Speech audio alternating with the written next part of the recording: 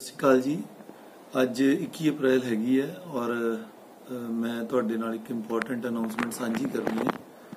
ਮਾਨਯੋਗ ਮੁੱਖ ਮੰਤਰੀ ਸਾਹਿਬ ਵੱਲੋਂ ਪਹਿਲਾਂ ਹੀ ਜਿਹੜੇ ਫੂਡ ਪੈਕੇਟ ਸਾਡੇ ਕੋਲ ਆ ਰਹੇ ਸੀ, ਜਿਨ੍ਹਾਂ ਦੇ ਵਿੱਚ ਕਿ ਆਟਾ, ਦਾਲ ਤੇ ਚੀਨੀ ਆ ਰਹੀ ਸੀਗੀ, ਉਹ ਅਸੀਂ ਪਹਿਲਾਂ ਜਿਹੜੇ ਪ੍ਰਵਾਸੀ ਔਰ ਬਹੁਤ ਜ਼ਿਆਦਾ ਅਤੀ ਗਰੀਬ ਲੋਕ ਜਿਨ੍ਹਾਂ ਕੋਲੇ ਬਿਲਕੁਲ ਵੀ ਕੋਈ ਸਾਧਨ ਨਹੀਂ ਸੀ, ਉਹਨਾਂ ਨੂੰ ਅਸੀਂ ਪਹਿਲਾਂ ਤੋਂ ਹੀ ਵੰਡ ਰਹੇ ਹਾਂ। ਹੁਣ ਕੇਂਦਰ ਸਰਕਾਰ ਔਰ ਪੰਜਾਬ ਸਰਕਾਰ ਦੇ ਫੂਡ ਸਪਲਾਈ ਡਿਪਾਰਟਮੈਂਟ ਦੇ ਰਾਹੀਂ ਇੱਕ ਸਕੀਮ ਕੱਲ ਤੋਂ ਸਾਰੇ ਜਿਹੜੇ ਸਾਡੇ ਸਮਾਰਟ ਕਾਰਡ ਹੋਲਡਰ ਹੈਗੇ ਨੇ, ਉਹਨਾਂ ਦੇ ਲਈ ਲਾਗੂ ਹੋਣ ਜਾ ਰਹੀ ਹੈ। ਇਸ ਸਕੀਮ ਦਾ ਨਾਮ ਹੈ ਪ੍ਰਾਈਮ ਮਿਨਿਸਟਰ ਗਰੀਬ ਕਲਿਆਣ ਅੰਨ ਯੋਜਨਾ ਇਸ ਯੋਜਨਾ ਦੇ ਤਹਿਤ ਜਿਹੜਾ ਹੈਗਾ, ਜਿਹੜਾ ਫੂਡ ਵਿਭਾਗ ਹੈ, ਪੰਜਾਬ ਸਰਕਾਰ ਦਾ, ਮਾਨਯੋਗ ਮੁੱਖ ਮੰਤਰੀ ਸਾਹਿਬ ਦੀ ਅਗਵਾਈ ਹੇਠ ਜਿਹੜਾ ਕੰਮ ਕਰ ਰਿਹਾ। ਪ੍ਰਾਈਮ ਮਿਨਿਸਟਰ ਗਰੀਬ ਕਲਿਆਣ ਅੰਨ ਯੋਜਨਾ ਦੇ ਤਹਿਤ ਜਿਹੜੇ ਵੀ ਪਰਿਵਾਰ ਦੇ 2.5 ਲੱਖ ਪਰਿਵਾਰ ਲਗਭਗ ਐਸੇ ਨੇ, ਜਲੰਧਰ ਦੇ, ਜਿਨ੍ਹਾਂ ਦੇ ਕੇ ਸਮਾਰਟ ਕਾਰਡ ਬਣੇ ਆ, ਔਰ ਹਰੇਕ ਪਰਿਵਾਰ ਦੇ ਜਿੰਨੇ ਜੀ ਨੇ, ਉਹਨੂੰ 15 ਨਾਲ ਗੁਣਾ ਕਰਕੇ 19 ਕਿਲੋ ਜਿਹੜੀ ਕਣਕ ਹੈ, ਉਹ ਫ੍ਰੀ ਦਿੱਤੀ ਜਾਣੀ ਹੈ, ਬਿਨਾਂ ਕਿਸੇ ਕੀਮਤ ਤੋਂ। ਕੋਈ ਪੈਸੇ ਨਹੀਂ ਲੱਗਣੇ। ਮੰਨ ਲਓ ਕਿਸੇ ਪਰਿਵਾਰ ਦਾ ਇੱਕ ਜੀ ਹੈ ਤਾਂ ਉਹਨੂੰ 15 ਕਿਲੋ ਮਿਲੂਗੀ, ਪਰ ਕਿਸੇ ਪਰਿਵਾਰ ਦੇ ਮੰਨ ਲਓ ਦੋ ਜੀ ਨੇ 30 ਕਿਲੋ, ਤਿੰਨ ਜੀ ਨੇ 45 ਕਿਲੋ, ਚਾਰ ਜੀ ਨੇ 60 ਕਿਲੋ ਔਰ ਇਸੇ ਤਰ੍ਹਾਂ ਜੇ 6 ਜੀ ਨੇ ਤਾਂ 90 ਕਿਲੋ, ਜੇ 10 ਜੀ ਨੇ ਤਾਂ ਉਹਨੂੰ 1.5 ਕੁਇੰਟਲ ਔਰ ਇਸ 15 ਨਾਲ ਗੁਣਾ ਕਰ ਲੈਣਾ, ਇੰਨੀ ਕਣਕ ਤੁਹਾਨੂੰ ਫ੍ਰੀ ਮਿਲੂਗੀ। ਪਰ ਇੱਕ ਕਾਰਡ ਦੇ ਉੱਪਰ ਮੈਂਬਰ ਭਾਵਾਂ ਦੀ ਕਿੰਨੇ ਹੀ ਹੋਣ ਭਾਵੇਂ, ਇੱਕ ਮੈਂਬਰ ਹੋਵੇ ਭਾਵੇਂ, ਤਿੰਨ ਮੈਂਬਰ ਹੋਣ ਭਾਵੇਂ 10 ਮੈਂਬਰ ਹੋਣ ਦਾਲ ਫਿਕਸ ਹੈ ਦਾਲ 3 ਕਿਲੋ ਮਿਲਣੀ ਹੈ ਦਾਲ ਵੀ ਫ੍ਰੀ ਮਿਲਣੀ ਹੈ। ਮੈਂ ਦੁਬਾਰਾ ਰਿਪੀਟ ਕਰ ਰਿਹਾ ਕਿ ਜਿਹੜੀ ਦਾਲ ਹੈਗੀ ਆ, ਉਹ ਇੱਕ ਪਰਿਵਾਰ ਨੂੰ 3 ਕਿਲੋ ਹੀ ਮਿਲਣੀ ਹੈ ਮੈਂਬਰ ਜਿੰਨੇ ਮਰਜ਼ੀ ਹੋਣ। ਔਰ ਇਹ ਜਿਹੜੀ ਯੋਜਨਾ ਹੈਗੀ ਹੈ ਸਿਰਫ ਜਿਨ੍ਹਾਂ ਕੋਲੇ ਕਾਰਡ ਬਣੇ ਹੋਏ ਨੇ ਉਹਨਾਂ ਨੂੰ ਮਿਲਣੀ ਹੈ। ਕਾਰਡ ਪਹਿਲਾਂ ਹੀ 2.5 ਲੱਖ ਦੇ ਮੈਂ ਦੱਸਿਆ ਤੁਹਾਨੂੰ ਬਣ ਗਏ ਹੈਗੇ ਆ। ਔਰ ਇਹ ਤੁਹਾਡੇ ਕੋਲ ਆਣਾ ਕਿੱਦਾਂ ਫੂਡ ਸਪਲਾਈ ਡਿਪਾਰਟਮੈਂਟ ਦੇ ਜਿਹੜੇ ਡਿਪੋ ਹੋਲਡਰ ਨੇ ਉਹਨਾਂ ਨੇ ਆ ਕੇ ਤੁਹਾਡੇ ਏਰੀਆ 'ਚ ਵੰਡਣੀ ਹੈ। ਨਾਲ ਫੂਡ ਸਪਲਾਈ ਦੇ ਇੰਸਪੈਕਟਰ ਹੋਣਗੇ। ਗੋਲੇ ਮਾਰ ਕੇ ਸੋਸ਼ਲ ਡਿਸਟੈਂਸਿੰਗ ਕਰਕੇ ਤੁਸੀਂ ਕੋਈ ਲਾਲਚ ਨਹੀਂ ਕਰਨਾ। ਇਹ ਹਰੇਕ ਦਾ ਜਿੰਨਾ ਸ਼ੇਅਰ ਹੈ ਉਹਨੂੰ ਮਿਲਣਾ ਹੀ ਮਿਲਣਾ। ਕੋਈ ਇਹ 'ਚ ਕਰਨ ਦੀ ਲੋੜ ਨਹੀਂ।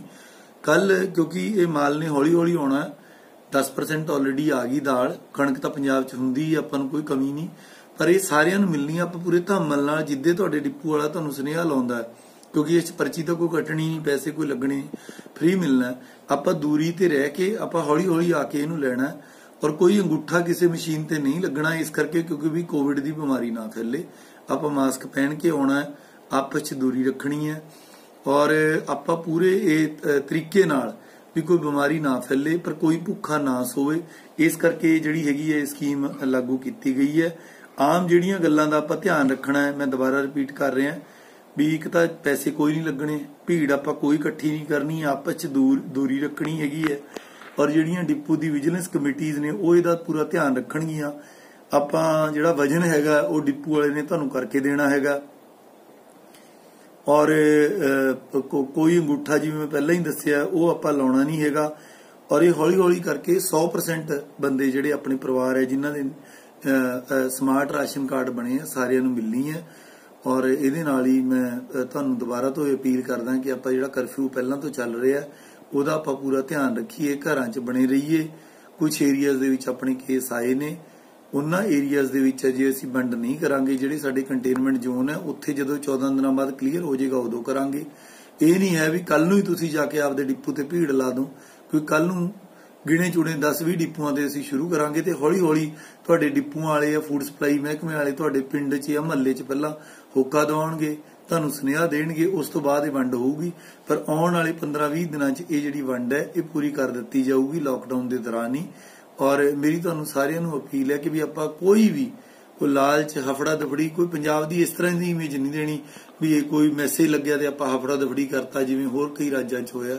ਆਪਾਂ ਪੰਜਾਬੀ ਆ ਚੰਗੀ ਨੀਤ ਵਾਲੇ ਆ ਮੈਂ ਪੂਰੀ ਨਿਗਾਹ ਰੱਖੂੰਗਾ। ਸਾਡੇ ਮਹਿਕਮੇ ਇਸ ਗੱਲ ਦੀ ਨਿਗਾਹ ਰੱਖਣਗੇ, ਕੋਈ ਭੇਦਭਾਵ, ਕੋਈ ਵਿਤਕਰਾ ਨਹੀਂ ਹੋਊਗਾ।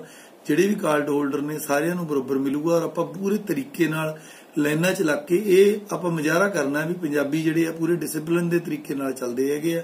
ਧੰਨਵਾਦ ਔਰ ਇਹੀ ਕਾਮਨਾ ਕਰਦੇ ਹੋਏ ਕਿ ਤੁਹਾਡੀ ਸਿੱਧਾ ਚੰਗੀਆਂ ਰਹਿਣ। Thank you very much